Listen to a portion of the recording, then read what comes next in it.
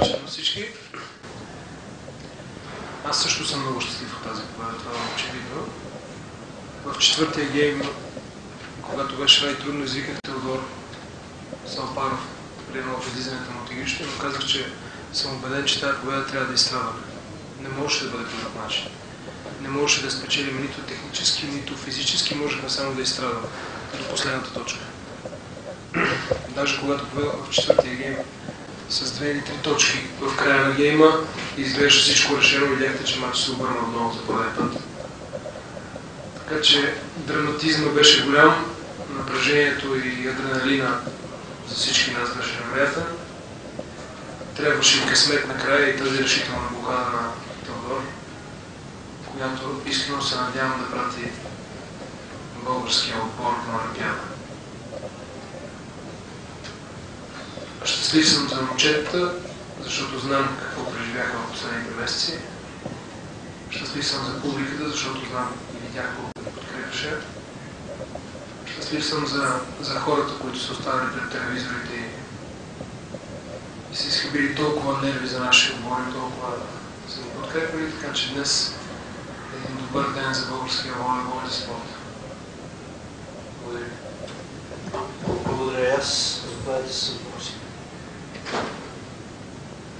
Иван.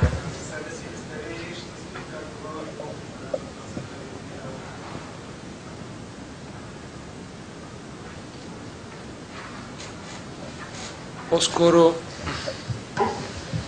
още не мога да се зарадвам, още не съм щастлив. По-скоро като бреме, като тежест, което ще ми отпадне утре, надявам се.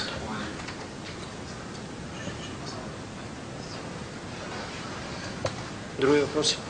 Пеш- Пепи? Един ваш предшественик, споменал на тайм-аута, да казваш, айде малко и тази фраза работеше. Вие днес какво им казахте? Ми я казвах има един много, защото с малко не ставаше. Френският отбор а, не е лесен за, за противодействие, защото има двама разпределители, които играят горе-долу правилно и са с различни стилове на игра. Тоест един играе повече център, пайп и напред, други играе повече назад и остра ток. Освен това има двама диагонали, както видяхте, когато влезе Моро как обърна матча. След това има трима равностойни нападатели. Днеска се ми казва щастие си почина лошо. Защото иначе да бъде много неприятен играч. Така че, ако ви покажа листа, т.е. не листа, а листовете, които подготвихме тактически за матч, беше наистина трудно за играчи да запомнят и 30% от указанията, които имаха за матч.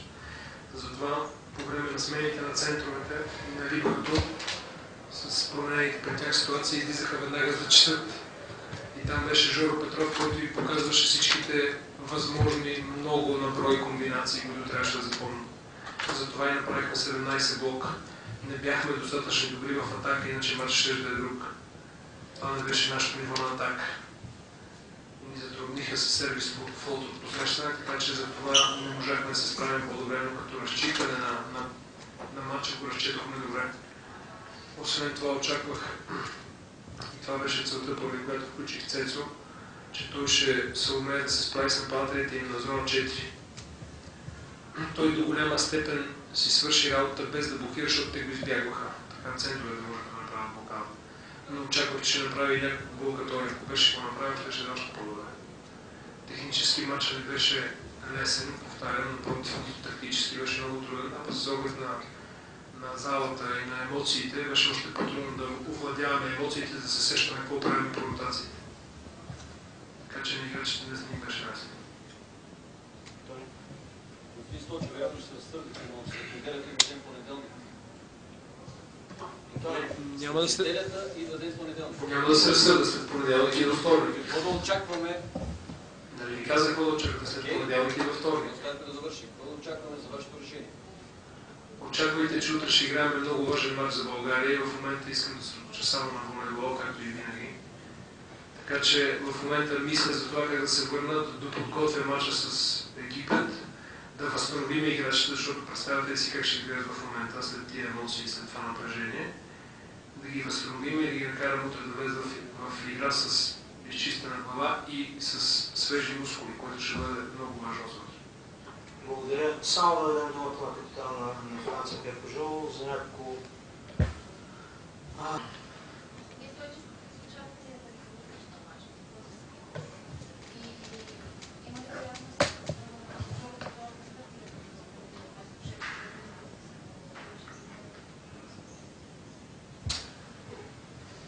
Както вече казах, сега като се прибера, първата ми задача ще бъде да се информирам от медицинския щаб по физическото състояние на играчите.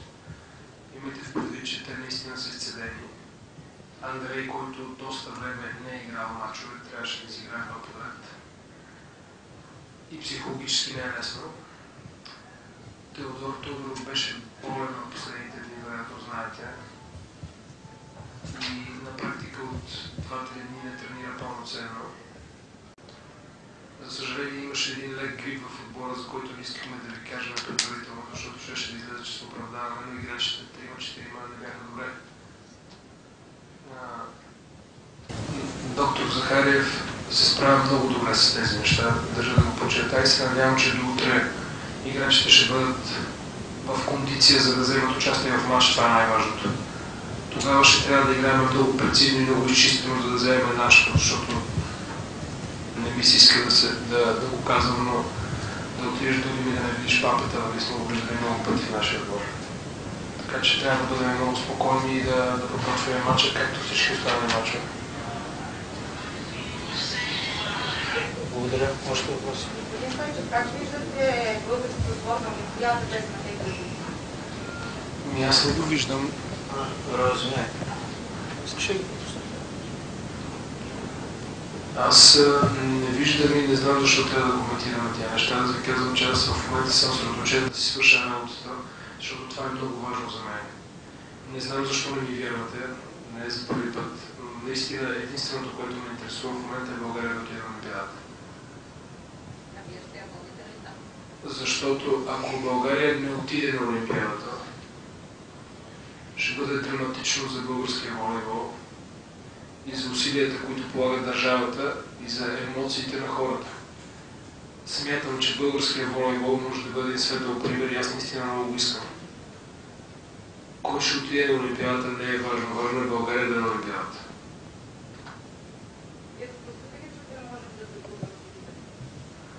Аз много години се занимавам с спорт. От много години на високо ниво. И съм виждал всякакви неща.